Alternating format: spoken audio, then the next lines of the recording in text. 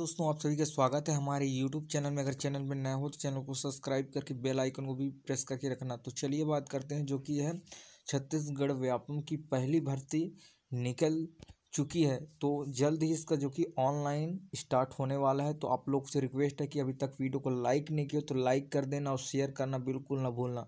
तो यह बता दें कि प्रबंधन संचालक छत्तीसगढ़ राज्य कृषि विभाग की मतलब मंडी बोर्ड की यह भर्ती है। तो मंडी निरीक्षक और उप निरीक्षक जो कि मंडी से रिलेटेड यह है भर्ती तो इसमें करीब एक सौ छियालीस पदों की भर्ती है। आप यहाँ देखिएगा कि परीक्षा की तिथि जो कि उनतीस अप्रैल दो हज़ार इक्कीस और समय जो कि परीक्षा का समय है नौ बजे से लेकर पंद्रह, ये बारह पंद्रह तक यह रहेगा।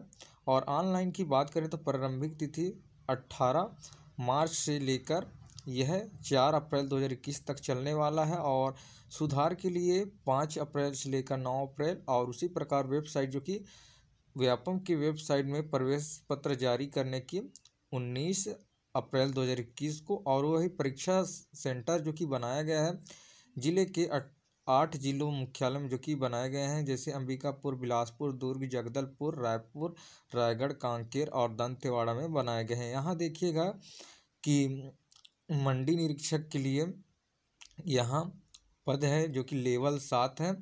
और बात करते हैं, यहाँ अट्ठाईस हज़ार से लेकर इक्यानवे हज़ार इसका वेतनमान है और अनरक्षित के लिए नौ पद है और अनुसूचित जाति के लिए, जनजाति के लिए सात और अन्य पिछड़ा वर्ग के लिए तीन और अनुसूचित जन, अनुसूचित जाति के लिए तीन। तो इस सभी में लगभग स्नातक की पास स्नातक जो पास किए हैं ग्रेजुएशन किए हैं, उन्हीं का यह है। और दूसरा है जो कि बात करें तो उप निरीक्षक इसकी लेवल पाँच है और पच्चीस हज़ार से लेकर यह आप देख सकते हैं अस्सी हज़ार पाँच सौ रुपये तक। और अनुसूचित जाति और अनुसूचित जनजाति इनके लिए है जो कि एक सौ अट्ठारह पद, अनुसूचित जनजाति के लिए और अनुसूचित जाति के लिए अट्ठाईस।